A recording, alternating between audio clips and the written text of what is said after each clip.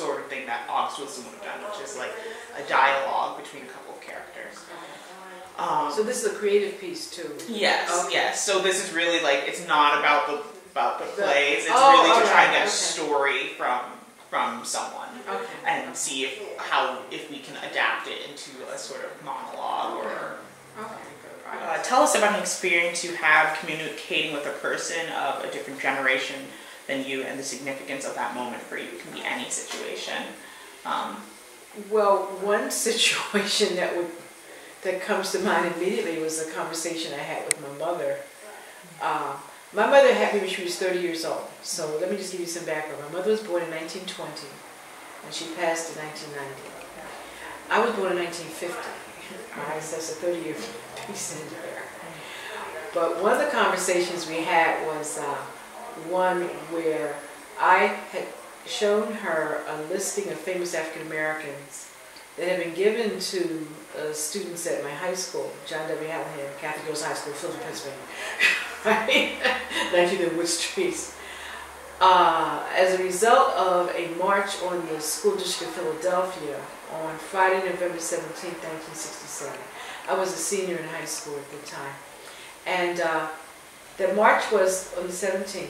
All kinds of negative things happened, but the purpose of that march, as I recall, was uh, students were concerned that there were not enough black teachers, there was not uh, black history, and there could have been some other, you know, pieces to that.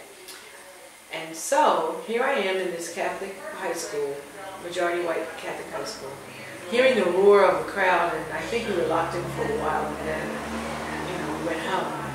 But that Monday, and I have since had an opportunity to talk to some of my high school friends, because we all were in the same class. So I don't know if I was in a history class, religion class, or English class, but I remember getting a one pager that said famous Negro Americans.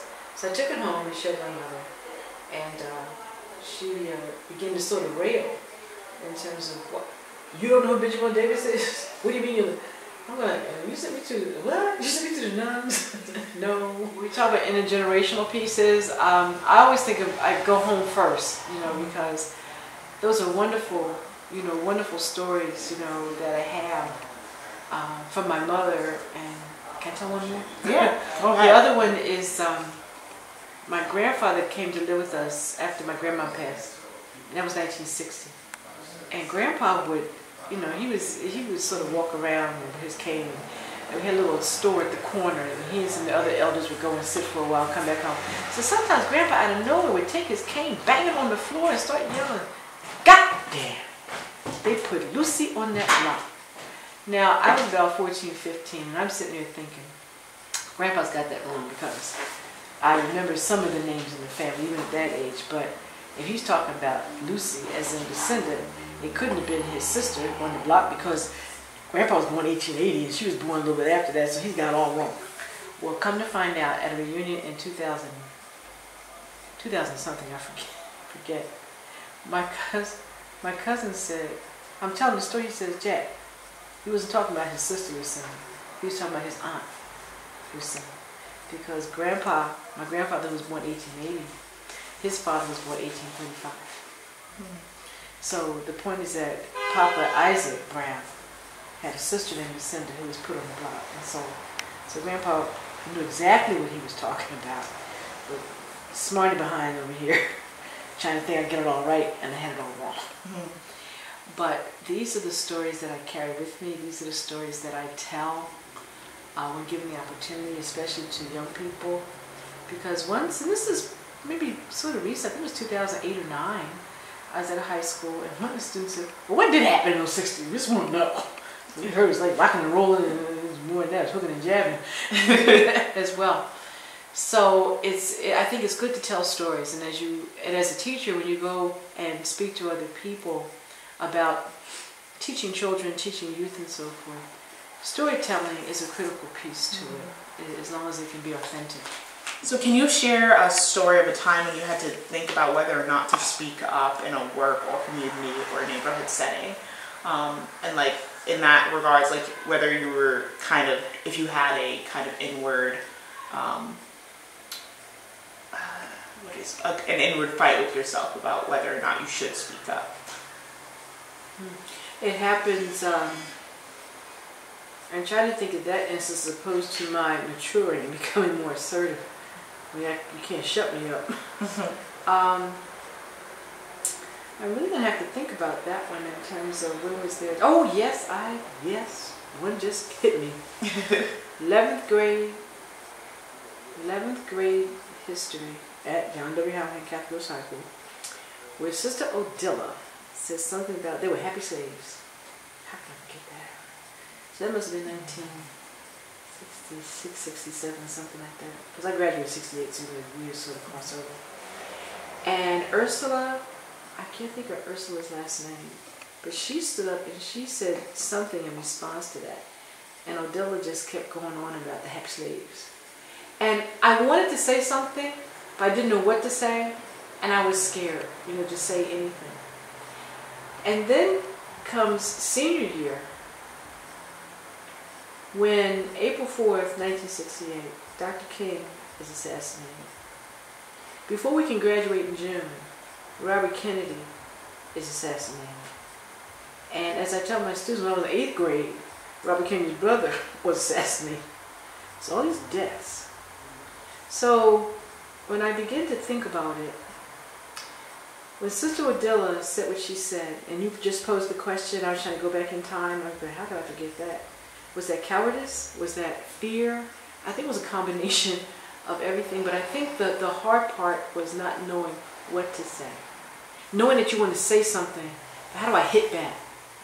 And so a part of my decision to become who I've become is to figure out language to hit back. Um, for example, this past uh, Thursday, there was a meeting around the Eastern State Penitentiary, which is a, a huge attraction here in Philadelphia. Al Capone was there, Willie Sutton, blah, blah, blah. And so they're going to have, meaning Eastern State Penitentiary is going to have an exhibit on mass incarceration. And there was an early meeting and folks were very clear, at least uh, with the group that met at the Church of the Advocate, because this group was meeting with different groups all over the city. We were very clear about what's your intent. And I remember posing that question. So I'm past the point of fear now. Of course, I'm 65 now. But I passed the point of fear in terms of what is what is it you're really trying to get at by having this exhibit? So uh, one of the folks, Sean Kelley, he was sort of, I used the term tap dancing around it is not really responding to my question. But the other person who was the researcher said, well, we really like to have those who go through the exhibit, who are mostly white, middle class, you know, uh, Americans, to have some empathy. I said, are you serious? So I said it then, and then I said it this past Thursday again. I had said it again. I said, and I said, I'm not about any empathy for white folks around something that they created and don't deal with. So how does Jackie Wiggins move from fear, not knowing what to say, perhaps cowardice? I could have said, I tried to, what could I have said when I was in 11th grade? What could I have said? I don't know what I could have said. But I didn't say anything. And, and I think that through the years when things have happened, you know, to me, I mean to me just personally, with respect to race and unfairness, or maybe it wasn't, maybe I didn't look at it thoroughly. Um, how did you become who you are now? I think that um, once again, home plays a critical piece because my, my mother once again was was a force to be reckoned with. You know, um, she said to to my sister and me when she left the South, she said, "Damn the South," but she sent us back many summers. Uh, she would push her way to get us on that Greyhound bus. You know, you could have been third or fifth or twelfth. Somehow we got up there first get on that bus and you go and find your roots. and so for me, I think that the piece around when was I afraid to speak up has dissipated some. I think there are other instances where things happen. I, I have some recent things that have happened where I might pause now, but then I'm just getting ready. Mm. And, and then there is the power. And as I had uh, my friend say, well, if you keep doing that, people are going to listen to you. I said, I don't really care. I'm just at a point right now where there is enough there, there's enough that is going awry that if you don't have the language to respond, you're going to have to do something. You just can't sit. And that's what August Wilson, I think, was, was doing by, by talking to people. Let me hear what, what's on people's minds. And now how can I make it so that people can learn from those experiences? The responsibility of black people themselves to educate themselves, or is it the responsibility of society and the system? Well, I would like just to make a distinction with respect to, as we use the term black community, because I don't see us as a community. I see us as, as people living in neighborhoods or in areas, because a community means you have some power to control certain things in your community. So I think we use the term and wanting that collective to happen, but I just don't think, particularly in this town, that it happens necessarily in that way. There are some areas and neighborhoods where you have that.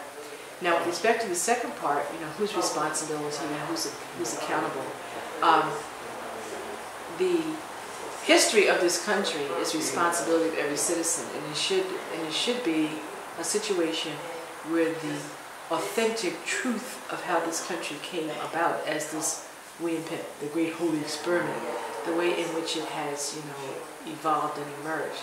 But it falls short and shy of that in terms of accountability. Because, as someone said, when you talk about black history or American history, it's mandatory. If you talk about African American history, it's, it's an elective. Mm-hmm. Seriously? No. You don't have America or the Americas without the labor of the African. And you cannot separate that as when you begin to read some of the rationales for the perpetuation, continuation of enslavement. Well, we're not talking about, you know, the soul of the person, which of the person's labor. You can't separate those two things. They come together. It's a human being. So how black folks are viewed as human beings, is that our responsibility? Uh, yes and no. I mean, the reality would be I'm a human being. I should be treated as a human being. But that's not been our story here. There has been a relentless assault on African American people. So let me just take you to this meeting on Thursday. So as they're getting at what do you want this exhibit to do, I said well, I like for the exhibit to reach white women who, as women, are primary caretakers of children, as there are many, you know, women, whether you have personal children or not, it's, it's the female people. But as primary caretakers of children, what are you doing to end this racism? Because we end that, you knock that sucker out, other stuff is going to fall into place. But there's no movement to do that. It's almost as if, um, well, I'll think about it. that doesn't help the situation. So whose responsibility? It is this entire country's responsibility to treat people according to what the Credo says. If you believe that all people are created equal, then then make it real. America is yet to really come to grips with that. It makes exceptions. And there should be no exceptions. It's not when it's your turn. You know, no, it's not about it. should be, are you ready? Are you prepared? Let's move. But that's not happening. It's not happening in, in oh so many ways. Education, housing, employment, and rest.